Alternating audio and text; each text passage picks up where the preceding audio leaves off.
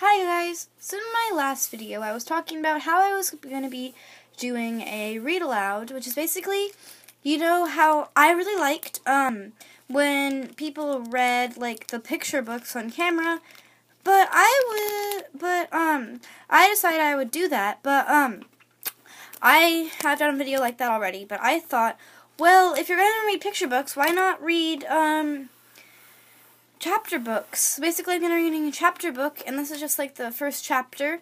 And in my next video, my um next video, read aloud number two, will be doing like the next chapter, and so on and so forth. And that's what I'm going to be reading this book right today. It's called The Captain's Dog by Roland Smith, and it's my journey with the Lewis and Clark tribe. But it's actually really, really great book. I read this last year and it's really amazing, so I'm just going to start reading this right now. Alright.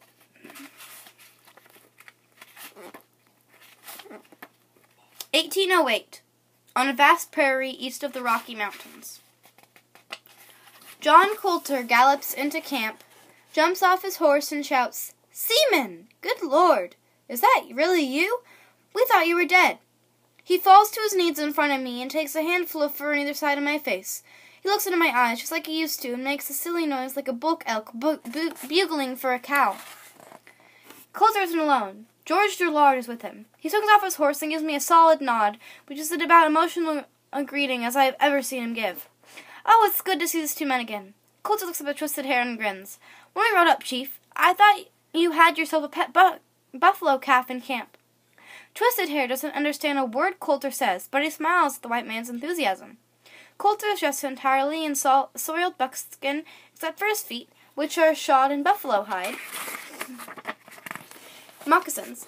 His face is burned as dark as a cheese, and I see there are a few more creases than the last time I saw him. His brown hair hangs behind his head like a horse's tail, nearly brushing the ground as he kneels in front of me. Drouillard is dressed the same manner, but he hasn't changed much. He still looks like a large black bear just dressed up as a deer. He has two horses with him, one to ride and one to carry the furs they trapped and traded for. Besides the pals, my old friends have been doing mighty well for themselves. I look across the grassy plain beyond their horses, hoping the captain is with them, wondering if he'll be happy or cross to see me.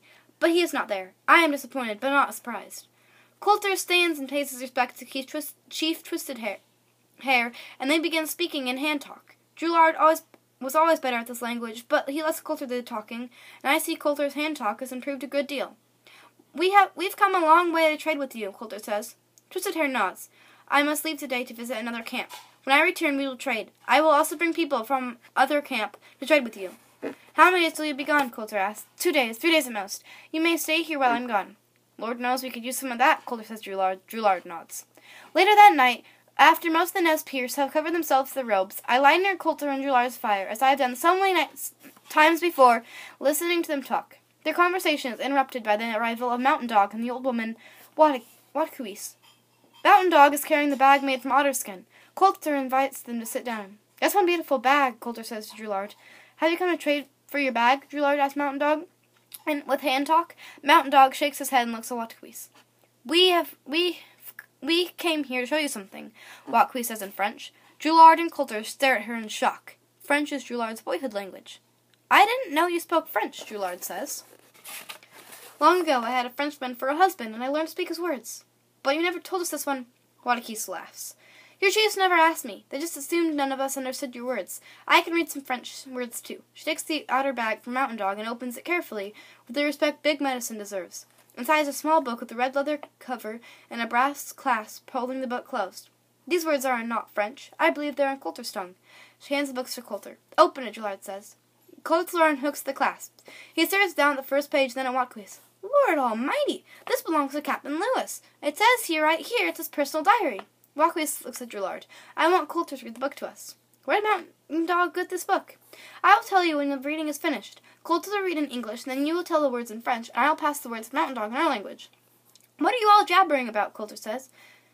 Asks. She wants you to read it. Out loud? Yep. You read and I'll translate it to French best as I can. Colter looks at Drouillard, nods, and then scoots a little closer to the fire to better see the words in the flickering light. He begins to read. And that is chapter one, guys. So I'm going to call this um, video right here. I'm sorry. Oh, yeah, it's shout out time.